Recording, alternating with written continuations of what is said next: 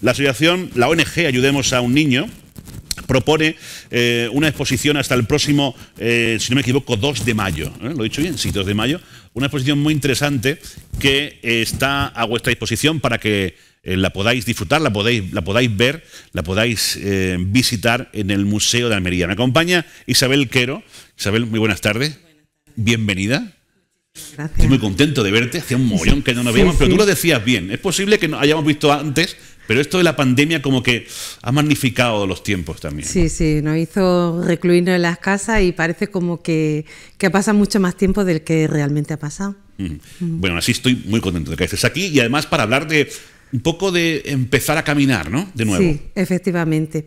Esta exposición, te lo comentaba antes, eh, tenía que haberse mm, inaugurado el año pasado, y, pero por el tema de la pandemia, pues todo uh, cambió y, ahora retomamos ese camino de la educación al desarrollo a través de esta exposición que se inaugura, pues que se inauguró la semana pasada y que va a estar hasta el 2 de mayo y que coincide un poco también con, un poco el conmemorar el 20 aniversario de la, de la asociación.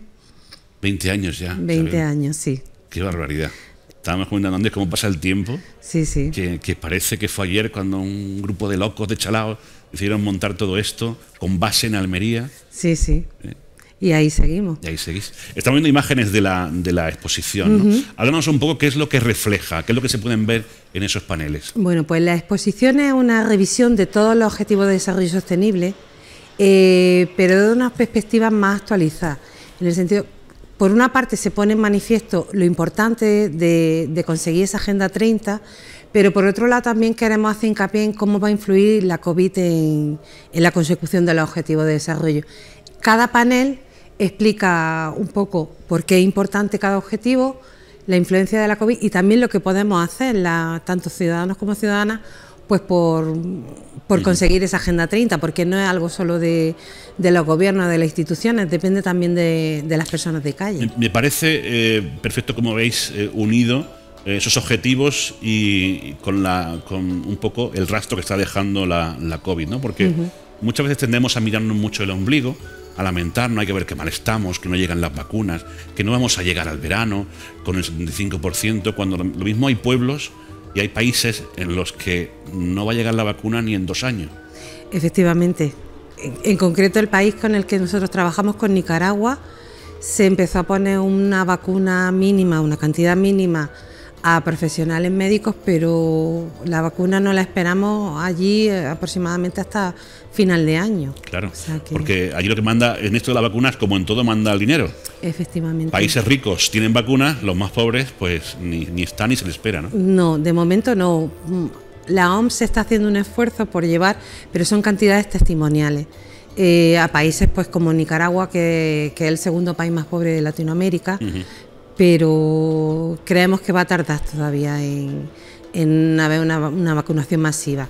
De hecho, el año pasado nos volcamos todo el esfuerzo de la asociación en, paliar en cierta manera la, sobre todo los efectos de la COVID en la escolarización, infantil. Y eso fue lo que nos llevó el año pasado casi monotemático. esa es otra historia, porque claro, aquí nos echamos los papás y las mamás las manos a la cabeza, ¡ay, el telestudio! Cantidad de tareas que le están mandando a mis niños por internet, el, el telestudio.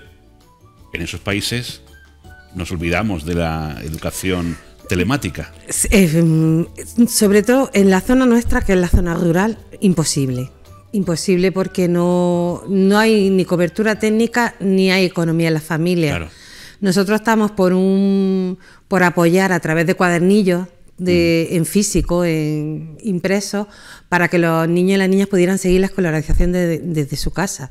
Y también quitarle un poco de agobio a los profesores que estaban muy sin medios. Sin, a ver qué hacían, ¿no? Sí, y optamos por una estrategia mixta. Por un lado, apoyar la escolarización desde la casa y por otro lado, seguir apoyando con alimentación porque había niños que a pesar de la situación de pandemia pues van a la escuela porque no comen en otro sitio que no sea la escuela. Entonces eso también teníamos que seguir apoyándolo.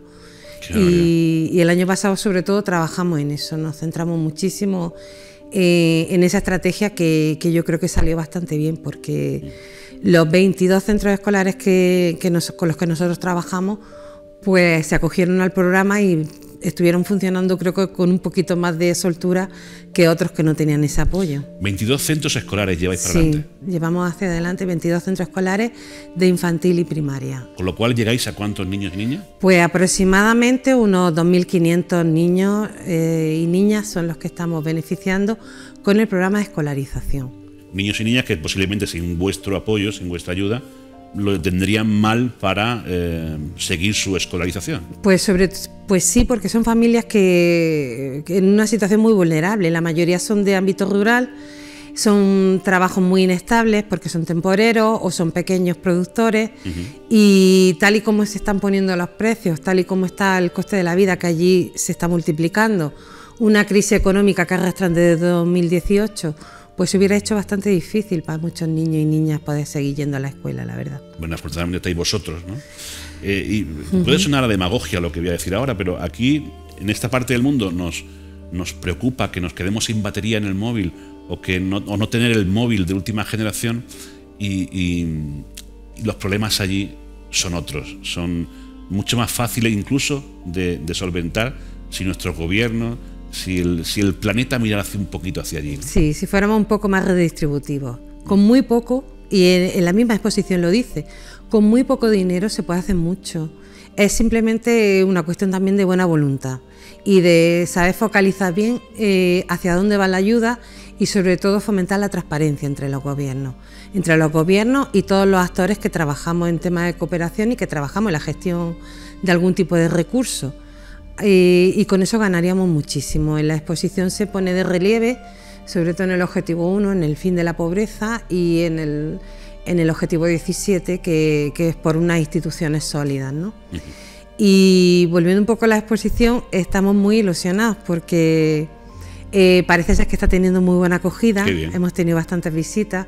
Van ahí algunos coles siempre con una medida de seguridad extrema de aforo y de condiciones. Uh -huh y, y, luego, pues para los coles que no puedan ir, eh, tenemos una versión digital de la exposición que se ah, puede bueno. visitar en nuestra página web. Qué que bueno. la hicimos en previsión, pues eso de que no, no sabemos cómo va a estar la situación.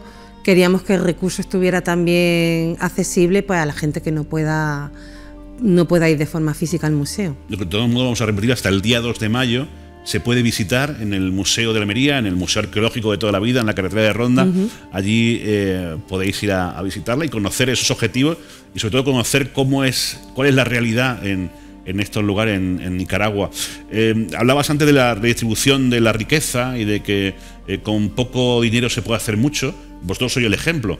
No sé uh -huh. qué presupuesto manejáis, pero eh, estáis ayudando a esos 22 centros, a esos miles de niños que sin vosotros la vida la tendrían un poco más, más difícil, ¿no?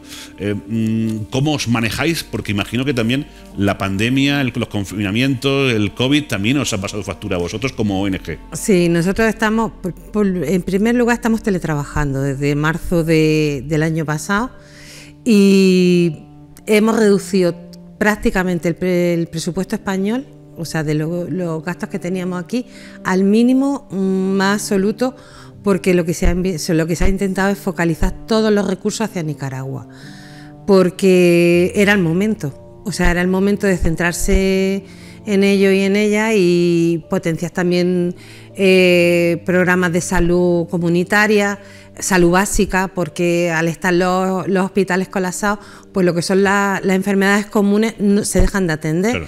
Y nosotros habilitamos pues nuestro dispensario médico precisamente para poder atender a esa población que eh, estando temerosa también del virus, no iban a, a los centros de salud, a los hospitales, mm. y han estado viniendo. O sea, hemos intentado trabajar en esas cuestiones, alimentación, educación y salud, específicamente todo lo que, claro, todo lo que hemos Yo imagino, si aquí lo estuvimos pasando mal eh, los primeros meses, el tema de las mascarillas que no nos llegaban, el gel hidroalcohólico que se agotaba, en lugares como en los que trabajáis, ¿Allí cómo ha sido la situación? ¿Cómo se ha vivido esto? Pues hemos, eh, el año pasado fue especialmente difícil entre abril y junio, que fue uno de los momentos de pico de incidencia, por, mm, por suerte para ellos. Eh, eh, no es un país especialmente golpeado por la incidencia porque de seguida se cerraron los aeropuertos y Nicaragua ha estado en cierta manera bastante aislada.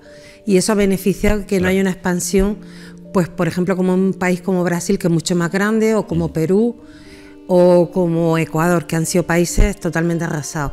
Aquí había una incidencia alta, había muertes, evidentemente, no hay unos datos claros, eh, se sabrá a posteriori porque hay unas estadísticas que bailan de un sitio a otro, pero sí ha sido especialmente difícil porque eh, eh, no había medios, la gente tenía mucho miedo, la gente se, se autoprotegió muchísimo desde el principio.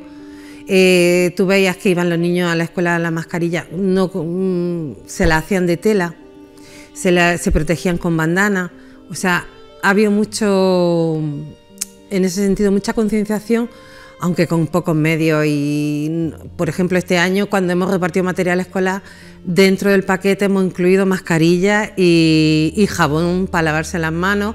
Y, ahora vamos a empezar también con el tema del gel hidroalcohólico en las escuelas, ¿no? O sea, apoyando con ese tipo de materiales y que es un componente más que ya ha venido como para quedarse, ¿no? Em, ¿Cómo podemos echar una mano a, a vuestra ONG? Pues eh, evidentemente apadrinando o cualquiera otra de las colaboraciones, cualquier ayuda desde la más pequeña, eh, también puede hacer voluntariado dentro de la, de la, entidad. Cualquier forma de ayuda nos viene genial. Y por supuesto mm, hay que visitar la página www.ayudemosaunino.com .org y allí pues se pueden encontrar las propuestas que hacemos, las formas de colaborar y cómo contactar con nosotros. Somos una ONG pequeñita, pero estamos ahí al pie del cañón. Y además, lo que más nos gusta a nosotros es que es una ONG con acento almeriense eh, y con base en Almería, ¿no? que, es lo, que es lo importante. Me decían de que estáis contentos porque no solamente por la marcha de esta exposición, que recuerdo se puede ver hasta el día 2 de mayo en el Museo de Almería, sino porque ya empezáis a programar más actividades. Sí, efectivamente. Esta misma exposición no se queda aquí solo. Queríamos que empezara en Almería y queríamos que empezara en un sitio emblemático como el museo, que agradecemos a la Consejería de Cultura que nos han apoyado en todo, el museo también, el director genial con nosotros, muy bien. Y, pero esta, esta exposición queremos que, que salga, o sea, no solo a la provincia de Almería, sino prácticamente a muchos municipios del país donde nosotros tenemos pues colegios, tenemos mm, ayuntamientos que nos han apoyado y queremos itinerarla por el resto del país. Y en eso nos apoya mucho Cajamar, que ha sido el patrocinador de, la, exposición. Y, ya te digo, apenas termina aquí en Almería, empezamos a, a hacer la ronda primero por la provincia y después el resto de España. Queremos, Qué bien. Sí. Y a partir de ahí, pues ya empezaremos pues a trabajar, por ejemplo, en las escuelas queremos trabajar una unidad didáctica que tenemos de consumo responsable. Creemos que es muy importante. Ahora trabajas también el consumo responsable con niños y niñas. Y, ya irá surgiendo agendas. Eh, estamos todavía como que no nos creemos que empezamos otra vez aquí. Normal, normal. Sí. Bueno, pues aquí estaremos para contarlo, Isabel. Perfecto. Eh, para que lo sepa todo el mundo cuál es la actividad de la ONG y sobre todo cómo podemos ayudar. Vamos a contar a todo el mundo, no nos cansaremos de cómo podemos ayudar, eh, ya no solo a la ONG, sino a través vuestra, cómo podemos ayudar a esos miles de niños que, esperan vuestra ayuda en Nicaragua. Em, de momento recordamos esa exposición que nos puede servir para informarnos y para entrar en contacto con la labor de Ayudemos a un niño en, Nicaragua. Se puede visitar, como digo, hasta el día 2 de mayo en el Museo de Almería, en el Museo Arqueológico. Así que yo os animo a que lo hagáis, a que acudáis allí la, y la visitéis y, bueno, la disfrutéis también, en cierto modo. Isabel, gracias por haber venido. Gracias a vosotros por haber Aquí tienes tu casa. ¿eh? Cuando quieras vuelve y nos cuentas más cosas. Muchísimas gracias. Gracias a ti.